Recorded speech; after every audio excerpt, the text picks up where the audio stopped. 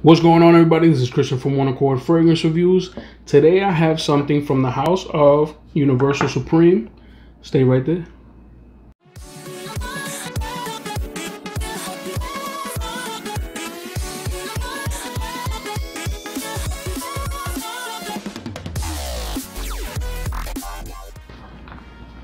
So, like I said, the house of Universal Supreme was one that I had to blind buy. I had never really smelled anything from them before this.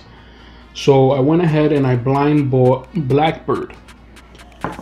Um, needless to say, I was a little thrown back. I wasn't expecting what I had received. Uh, it's a 30 mil. I don't remember how much I paid for it. But it's different whether it's a good different or a bad different, I'm still on the wall about. This is a fragrance. I didn't even look up the the notes, but when I do smell it, it's it's strange, and I want to say that I don't like it, but again, I'll go back and I'll smell it, and I've given some people a an idea of what this kind of smells like.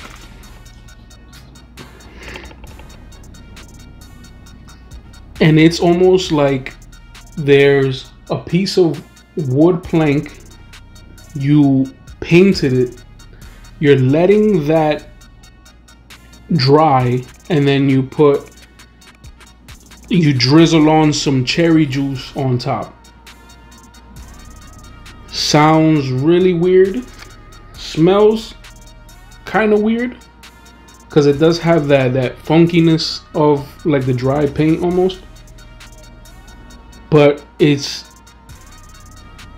it gets stuck in your head and you kind of got to go back and smell it again.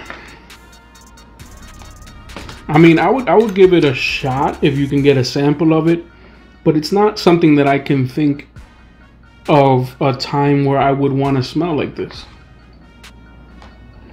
I mean, this is one of those fragrances that you'll probably wear at home to just kind of enjoy and and see the weirdness of it kind of like open up. I gotta give it a full wearing to say whether I really enjoy it or if I really dislike it. Uh, but I don't know yet. So this is it's an okay scent. I would I would sample it. If you're near me or if I know you, I'll let you smell it. But it's definitely different to say the least. That being said, guys, thank you for joining me. Um, I'll let you guys know if you're curious later on whether I really enjoy this one or not. Um, God bless.